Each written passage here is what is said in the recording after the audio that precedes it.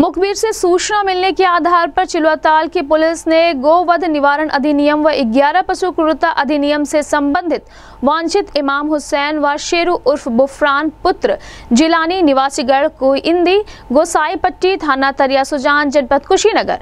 कहीं घटना को अंजाम देने के संबंध में रेकी करने हेतु बालापार क्षेत्र में जाने वाले हैं, जो छामोर धाम पुल के पास से होकर जाएँगे। इस सूचना पर थाना चिलवाताल पुलिस व एसओजी व स्वाद टीम के सहयोग से वांछित इनामिया अभियुक्तों इमाम हुसैन व शेरू उर्फ़ बुफरान पुत्रगण जिलानी उपरोक्त को गिरफ़्तार किया गया, जिनके कब्जे से एक अदद देसी तमंचा 315 बोर व एक अदद ज़िंदा कारतूस व एक अदद चोरी की मोटरसाइकिल बरामद हुआ।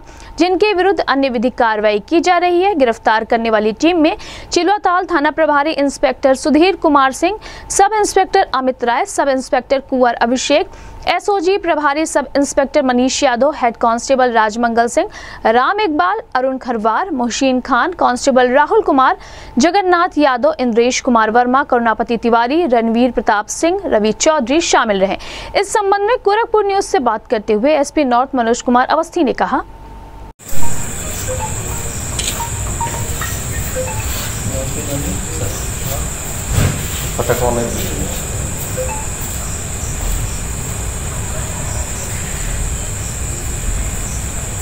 जनपद गोरखपुर में पशु तस्करों के विरुद्ध चलाए जा रहे अभियान के अंतर्गत आज थाना चिलवाताल व प्रभारी स्वाट की टीम को दो अभियुक्तों को गिरफ़्तार करने में सफलता प्राप्त की गई है।